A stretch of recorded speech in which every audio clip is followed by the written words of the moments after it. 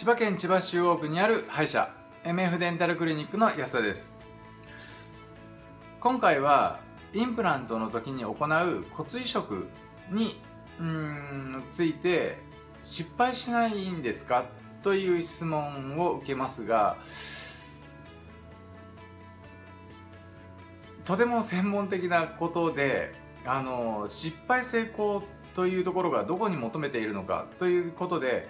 まずあの全然違います。あのインプラントのために骨を作りで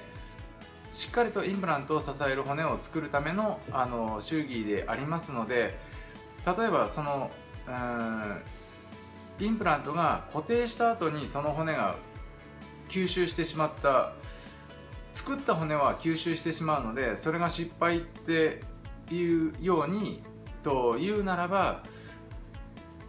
移植した骨増殖し増増骨したところ骨を作ったところは大概吸収します。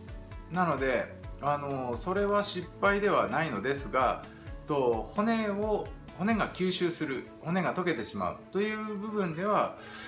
失敗と捉えられるのかもしれないですし定義がとても曖昧な内容ですのでその都度あの毎回その患者さんあの聞かれた患者さんにはと失敗というのはどういうことですか？というお話をして例えばと骨を作ったけどインプラントはダメになるの？っていうお話だったらとインプラントのダメになる理由をまずお話ししてで骨を作ってそのその失敗失敗の確率を減らすために骨を作ってうんインプラントを支えやすくする。などとその場その場で、あのー、求めてる答えがまず違うと思いますのでそれは直接と全般的にこれというわけではなくてとその都度その都度先生なりスタッフの方に必ず確認した方が良いと思います。